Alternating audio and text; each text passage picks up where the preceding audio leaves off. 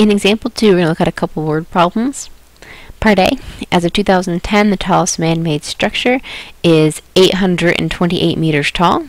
The skyscraper over here. And so we want to find out how tall is that skyscraper in feet. So we're looking at converting 828 meters into feet. So let's look for that conversion fact. Meters into feet. This time we're going to be using this conversion fact right here. It turns meters into feet. Point uh, 3048 meters is a foot. So I'm going to make sure I put that in the bottom. Point 3048 meters is one foot. Again, that conversion fact needed to be in the bottom so I could have meters canceling and my answer would remain in feet. Okay, so my calculator here, I need 828 divided by, since 888 times 1 is 1, I don't need to do that. I can do uh, divided by 0.3048. The answer of 2716.54 is in feet.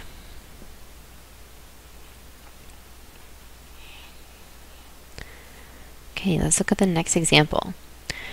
This one says that red meat production in Iowa is 585 million pounds per year. So let's make sure we write all these units down correctly. 585 million is one of the units. Million pounds. Then when it says per, remember that per is a division word. That's going to go underneath the division line right here. Per year.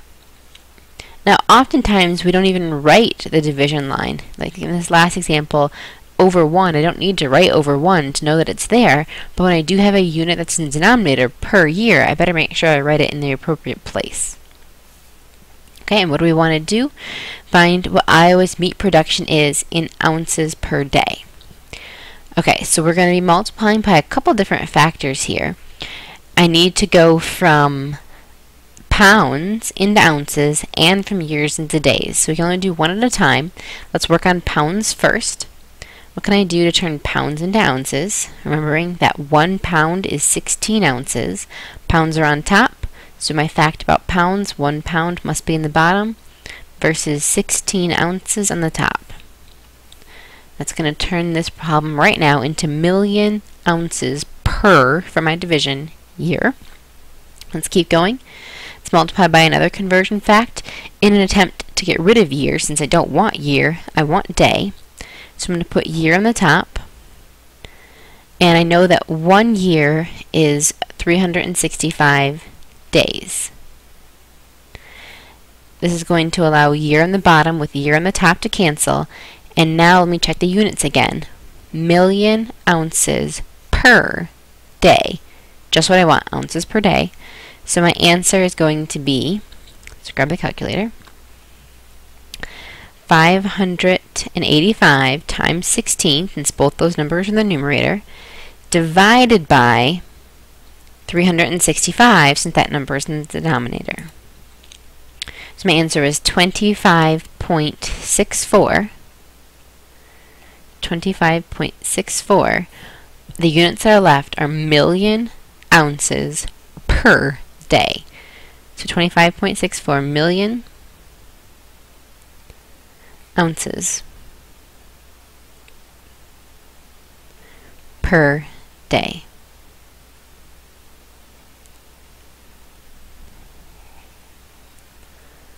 Is how much red meat is produced in Iowa.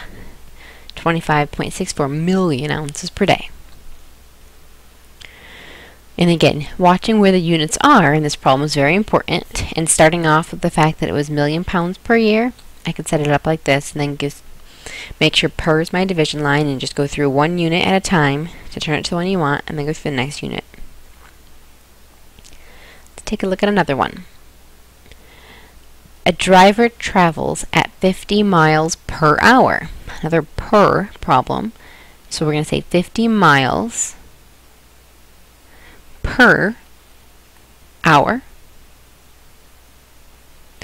what is the driver's speed in meters per second? So we're going to do two things. We're going to convert miles into meters and hours into seconds. Let's work on miles first. See what we can do with miles.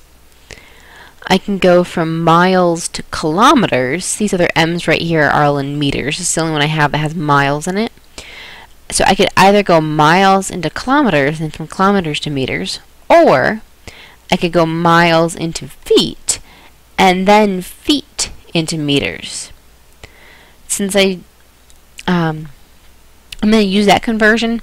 If I wanted to use the miles into kilometers, what I could then do is go from kilometers to meters by using the metric prefixes, knowing that there are uh, 10 hectometers in a kilometer or 100 decameters in a kilometer or 1,000 meters in a kilometer. I'm going to go ahead and use these, these two conversion facts here since I can see them both. So I'm going to start with miles into feet.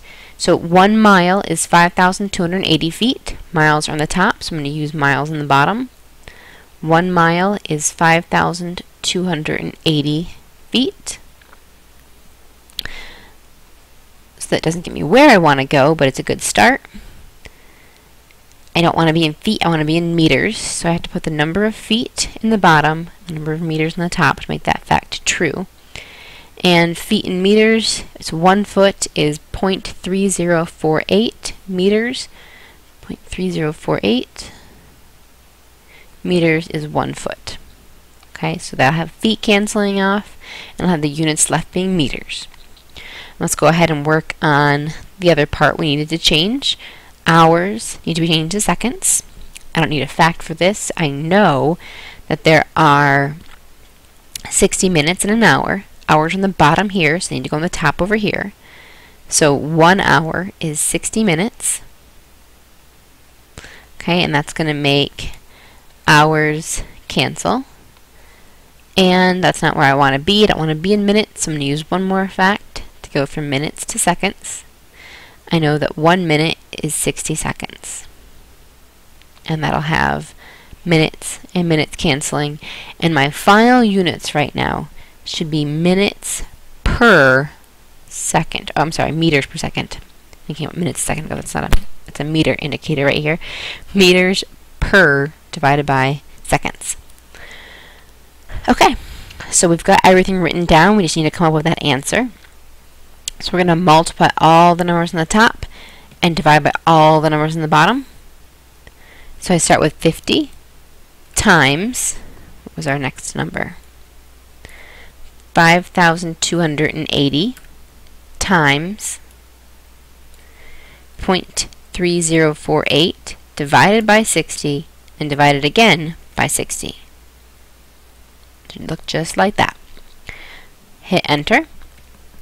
The answer is 22.35, around two places. 22.35.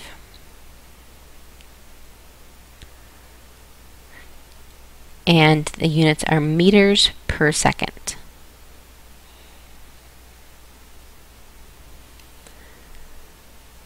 Alright. Let's look at the next one. A nurse has on hand 500 milligrams of morphine in 500 milliliters of normal saline. She needs to administer morphine 80 milligrams per hour in a continuous IV infusion to a patient with cancer pain. How many milliliters per hour will she set on the controller?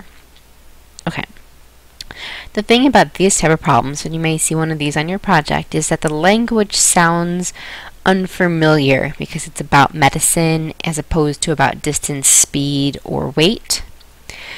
But it's actually a little bit easier than the ones we have just done. What I want to start with on this one is what I'm giving to the patient. So I'm giving 80 milligrams per hour. So we'll start with that. And find my goal. My goal is to figure out how many milliliters per hour to set on the controller.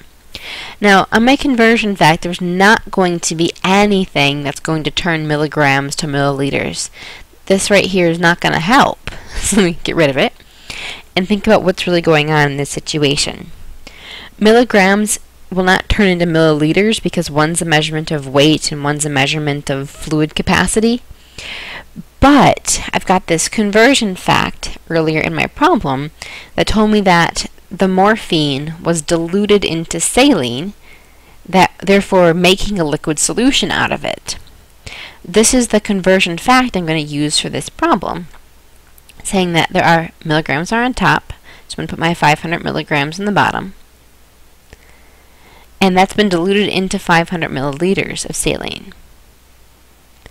And I'm going to use this right here to convert away from milligrams and into milliliters. And then I'm done because I know milliliters per hour. Let's just multiply these things together. The answer on this one is going to be, I'm going to cheat right here because I know 500 divided by 500 is 1, so this is just going to be 80 milliliters per hour. So it's a matter of how to read this question, and I guess it was a little bit easier than it had to be because of the fact that this was both 500.